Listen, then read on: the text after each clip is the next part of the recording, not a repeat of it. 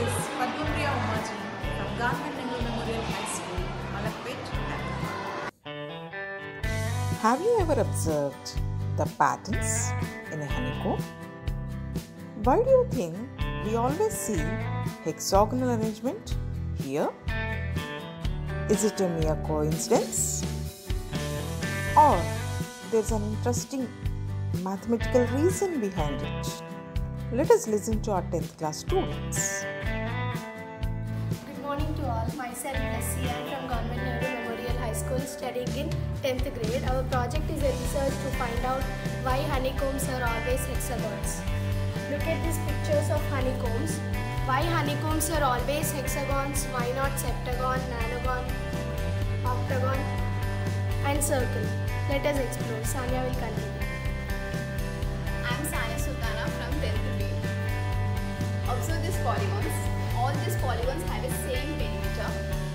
Triangle, it's a square, it's a pentagon, it's a hexagon, it's a septagon and circle.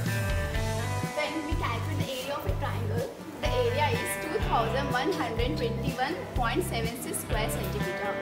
For a square, the same perimeter, the area is 2756.25 square centimeter. For a pentagon, the same perimeter, this is the area. The area of the remaining polygons with the same perimeter we calculate here. When we observe the areas, we notice that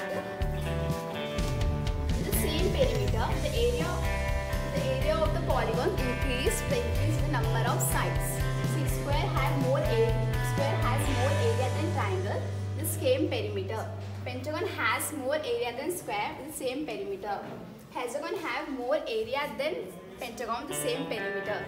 Septagon has more area than hexagon the same perimeter.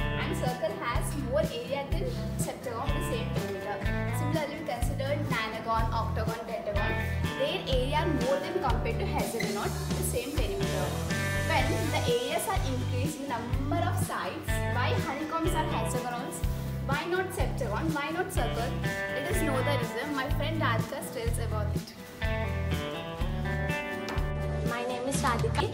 Usually patterns are formed by arranging congruent figure or mirror images side by side in all directions to spread upon areas without any overlaps, gaps. This is called tessellation.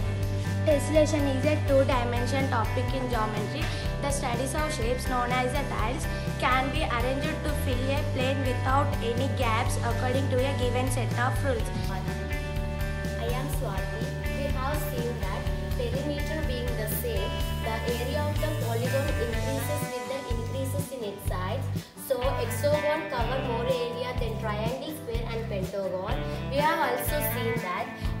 we have also seen that hexagon is a polygon that tessellates and all the polygons that have more than six sides do not tessellate. So we can conclude that hexagon is a polygon that cover larger area with the fixed perimeter that tessellates. So that is the geometry of the shapes uses the least amount of material to hold the most weight and leaves no gaps when arranged in a plane. Thank you. Hexagons cover more area with the same perimeter and tessellates. In the arrangement, it has no gaps. Really, honeybees are very intelligent And amazing.